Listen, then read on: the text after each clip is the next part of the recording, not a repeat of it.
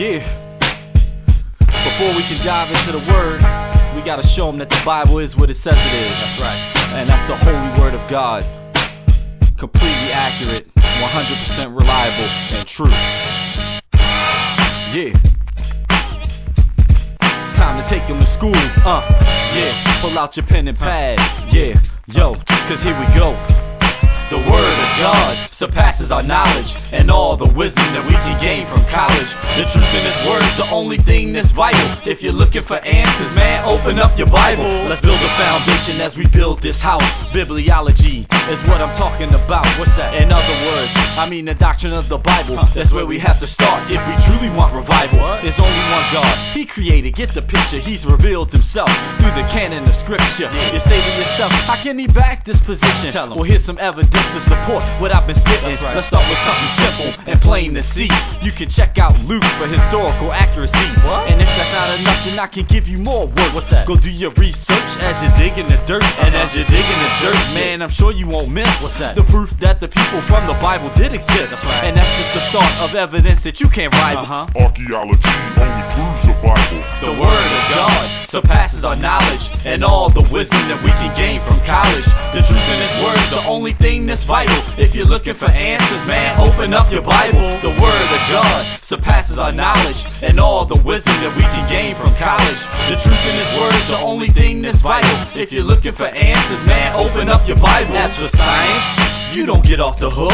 The things you've been discovering, man, they've been in the book. Uh-huh. Like the study of water and how it goes through phases. The Bible states this in at least three places. The 17th century, you discovered this cycle. Tell Try Job 36, the oldest time in the Bible. Yeah. He's marked out the waters, measured the heavens by the span, Uh-huh. and weighed the mountains in the balance of his hand. So Uh-huh. if you like geology, I can give you some more. What's Man, open up your Bible, read Psalm 104. That's right. The earth is balanced, the Bible had it all the time. Tell 'em. Science didn't get it till 1959, Huh? 1628. The circulatory system, Yeah. Leviticus 17. Uh-huh. God's previous wisdom, Right. like Solomon said, there's nothing new under the sun. Uh-huh. My God had it locked way before the earth was done. The word of God surpasses our knowledge and all the wisdom that we can gain from college.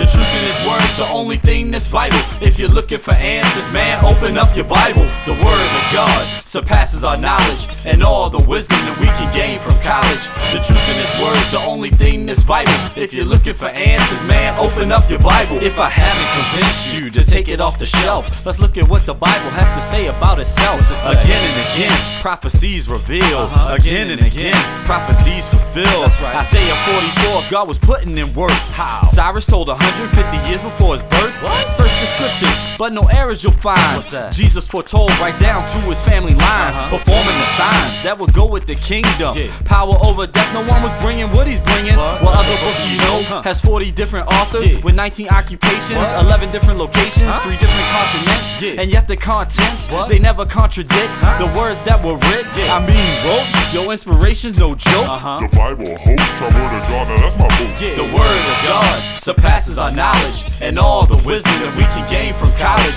The truth in His word's the only thing that's vital. If you're looking for answers, man, open up your Bible. The word of God surpasses our knowledge and all the wisdom that we can gain from college. The truth in His word's the only thing that's vital. If you're looking for answers, man, open up your Bible. Yeah, yo, open up your Bible if you're looking for answers, man. Open up your Bible. Uh, I'm saying open up your Bible if you're looking for answers, man. Open up your Bible. Yeah. Second Peter chapter 1, verses 20 and 21. But know this first of all, that no prophecy of scripture is ever a matter of one's own interpretation. For no prophecy was ever made by the act of human will, but men moved by the Holy Spirit spoke from God. Because of this, Paul wrote in 2 Timothy chapter 3, verse 16.